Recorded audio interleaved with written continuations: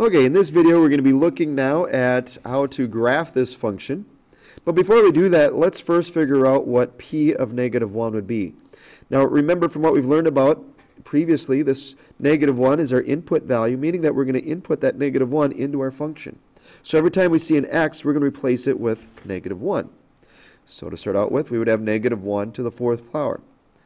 Then we would add to that 8 times negative 1 cubed then the next term we would have plus 20 times negative 1 squared.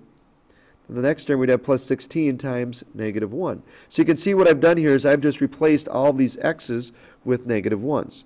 And you could type that in on your calculator, and when you do that, you'd get your answer. And your answer would be negative 3. So now let's look at how we would graph this. Now before we do that, let's look at the instructions.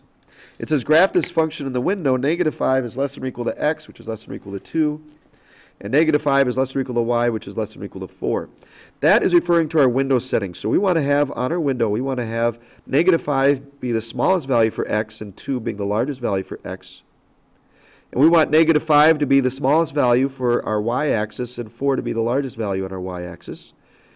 And so let's look at how we do that first, and then we will graph that polynomial, the x to the fourth plus 8x cubed plus 20x squared plus 16x. So get out your calculators and go to the home button. We want to go to a graphing screen. Now make sure that you don't use a scratch pad. We want to use this graph icon down here.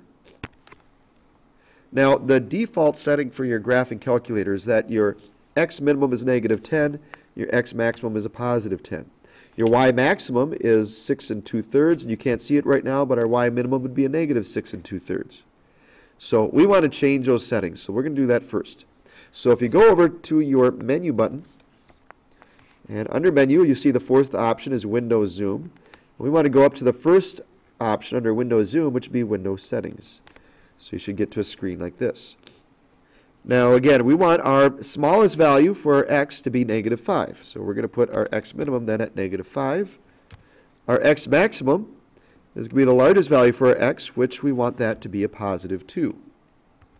Now you can leave your x scale as auto if you'd like, or if there's a particular scale you want to use on the x-axis, you'd put that here. So if I'm not sure what my calculator would give me, if I wanted to have a scale of counting by ones, I could just put 1 in here if I wanted to. And then my, I know my x scale would count by ones. Otherwise, you could leave it as auto.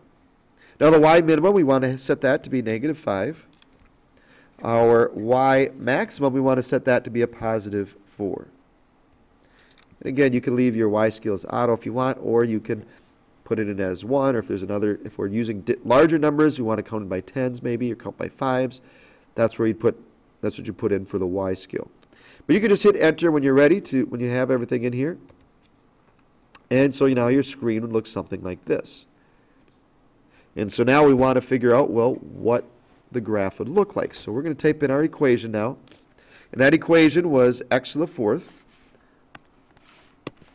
you got to be careful because when we start to do an exponent, anything I type will also be up here as my exponent. So after you type in x to the fourth, you want to hit the arrow button to the right to move your cursor down to the ground again. And then type in plus 8 x. Again, we have to do a cube, so we have to go up as our exponent again. So we want to hit the arrow to the right to move the cursor back down. Then it'll be plus 20x squared. And you can use a squared button so it automatically puts it in as an exponent plus 16x. And when you hit enter now, we should get a graph looking like this.